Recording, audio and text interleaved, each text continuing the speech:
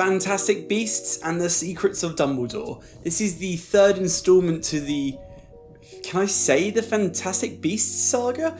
It's a prequel to the Harry Potter shows, but only the first one was really about Fantastic Beasts. It then kind of changed rapidly into a story about Dumbledore and Grindelwald. But I guess they're kind of stuck with that Fantastic Beasts name now. But yeah, first one really enjoyed, second one really didn't, and now we have this shift in focus more towards Dumbledore and his past and a supposedly resolution of the previous two films. It's not bad. It's certainly better than Crimes of Grindelwald, although that's not really saying much. I think that's a good place to go from though. The second film felt far too convoluted, very unfocused story, and it just lacked that overall Harry Potter charm. Here, director David Yates smartly decided to interject a little bit more humour into it this time, to juggle the so-called serious story with a bit more entertainment and overall engagement. As a whole though, this trilogy's kind of a mess. The story itself is more focused here, but in order to achieve that, we have 15 to 20 minutes at the start of this film,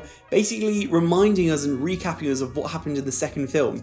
A, because it thinks that we've forgotten it was that uninteresting, and B, it also wants to slightly overwrite some of the facts we learned from the previous films, so that this film doesn't really have to worry about anything the second film brought into fruition. So you have this inconsistent storytelling. It's clearer here, but it's still not great. The final act in particular, I just felt lacked a lot of payoffs that the second film and the first two thirds of this film was building is up for. It's a bit spoiler territory and I'll keep it to a minimum, but I will touch on it a little bit more as we go down the line. I suppose the first big thing to talk about here is that there's no more Johnny Depp. Arguably controversial decision to get rid of him over this whole Amber Heard court case thing going on at the moment. I personally wasn't a big fan of Johnny Depp as Grindelwald anyway, but it's still not nice to have everything going on that it is and it's always a bit shady when you have to drop someone from a movie. The silver lining is that he was replaced by Mads Mikkelsen, and he's just such a great actor and he's a much better fit for this character, I believe. He doesn't do anything extraordinary per se, but he's just a much nicer fit into this movie. I felt like he was just a better choice off the bat anyways, and probably should have been Grindelwald from the very first film. We also get some returning characters, although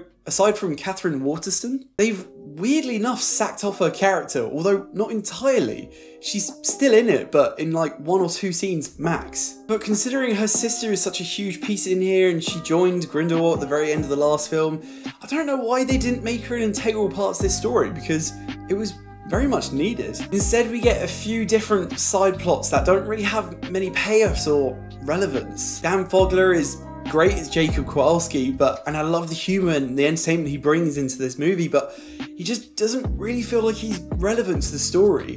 The movie clutches at straws to try and give us an excuse, but doesn't really pay off at all. For all the things the movie was trying to hint about him, he's kind of just there in the end. Also, same with that guy, I you could take his entire character out of this film and the story would not change in the slightest. They left out that whole thing with Nagini from the last episode and they've basically benched Ezra Miller's entire character barring one or two bits. Which is also weird because the first two films brought him up to be this huge central piece and he wasn't really doing that much here to be honest. In fact, the only side plot that I truly enjoyed was the bit with the brothers. Eddie Redmayne is back as Newt and I actually like the fact that he's our central character of sorts. Where I said that it has more humour in the story story and it feels a little bit more like a Harry Potter film, it's the scenes that he's in. There's a Scorpion prison scene that I also thought was really entertaining, but it's just story-wise not that integral. Another silver lining is Jude Law and he is just a great choice for Dumbledore. I absolutely loved every minute of him in this film,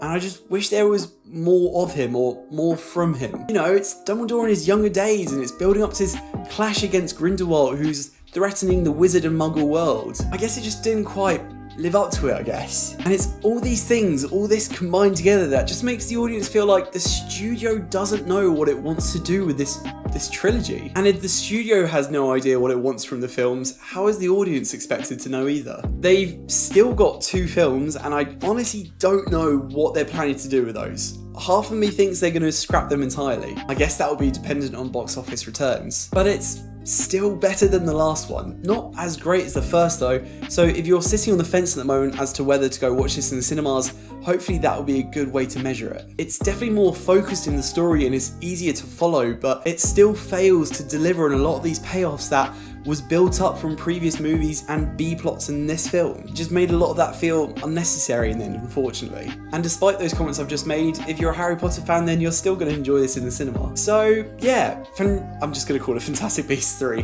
Have you already seen it? It came out in the cinemas last weekend. If you have, I'd love to hear your thoughts on it down in the comments below. If you like this review, please feel free to leave a like and subscribe, it always helps me out. And as always, stay tuned for more reviews on movies, anime, and video games. Until next time, guys, take care. Bye bye.